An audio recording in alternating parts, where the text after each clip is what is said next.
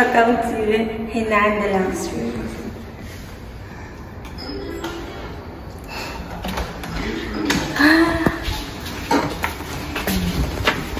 Ito guys, yung CR, tapos asok yung camera.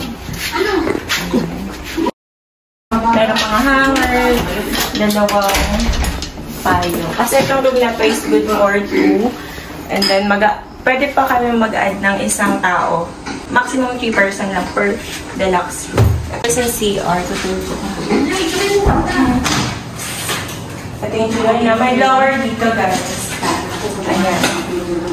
Burning baso. Ito yung lahat. Tapos yung shower. May heater yan. Hot and cold. Ito din guys, hot and cold. Ikaw, meron uh, safety deposit box. Meron po dalawa ditong lagayan. Tapos ito yung single bed. Ito, double.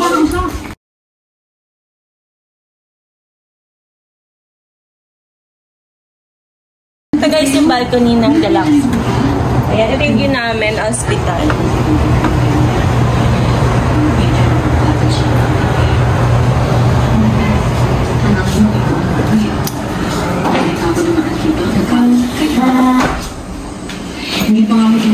Dito, kaya ako naiinis.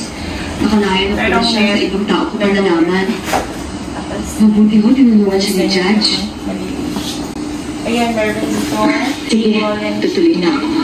Pasensya ka na kung naistorbo kita. Naku, walang anuman mo yun. Meron dito heater. Pakisabi na lang sa mo, malis na ako. Opo. Ito guys, may drawer dito. May ref. Kasi hindi namin may ref kasi hindi namin ito nagamit.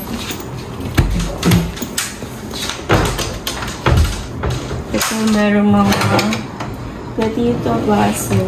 Tapos may extra drawer bar dyan. Ito guys, may telephone. Ayun na. Ito na yung kabuuan ng deluxe room.